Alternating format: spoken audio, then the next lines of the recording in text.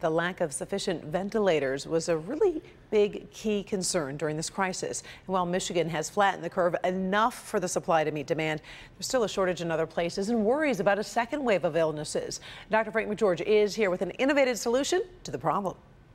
Many groups have proposed splitting ventilators between patients using a simple Y-shaped device, but that's really only an option if patients have similar sized lungs and they need the exact same ventilator settings. Plus, there is a risk of infection between patients. So, researchers at the University of Michigan set out to design a better way to share this critical resource.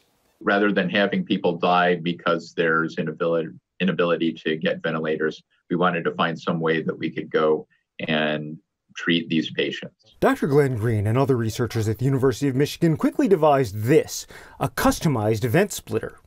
So we developed a way to provide individualized settings in a way that each patient can have their own specific settings and treatment according to what their own lung requirements are. The device has been granted emergency use authorization by the FDA.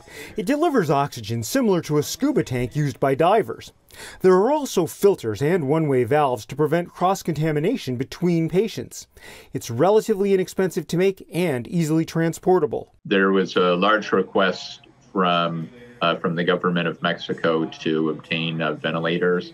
And so we're looking at, to see if this would be of use to them. Green says this truly was a community effort. A friend of mine had a yoga studio and was totally shut down and was not able to uh, do anything with her yoga studio. She opened up and, and let us use that area for, for our work. Now, for comparison, a ventilator costs tens of thousands of dollars. These devices can be made for just $500, and that cost could decrease dramatically if they were made on a larger scale. So, this could be a real lifesaver in parts of the world where ventilators are still in short supply, or if we need more here down the road. Back to you. Right.